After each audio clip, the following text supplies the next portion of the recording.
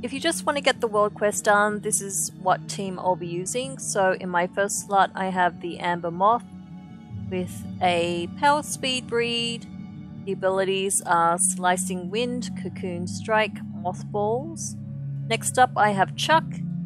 If you don't have this Crocolisk you can use any of the others. They're all interchangeable. So the abilities are Rip, Surge, Blood in the Water, and finally I have Creminius with Arcane Explosion, Howl, and Surge of Power. So to start, I'm going to hit Cocoon Strike.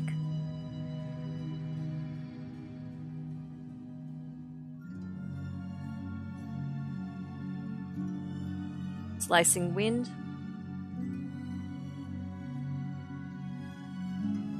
Mothballs.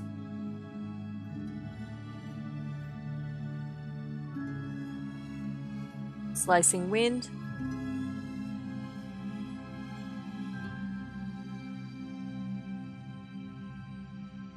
Going to switch to my second pet here.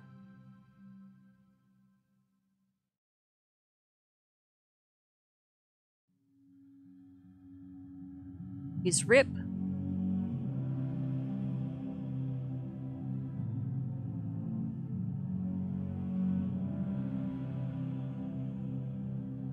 Blood in the water.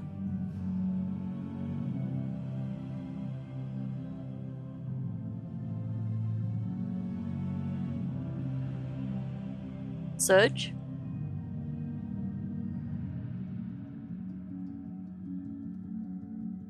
Rip.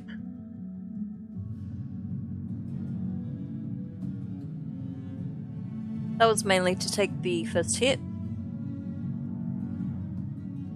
Okay, so now I'm going to hit Howl.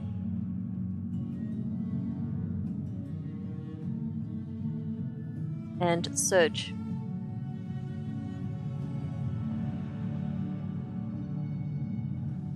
There we go. Hope that helped. As usual, thanks for watching, and I'll see you for the next video.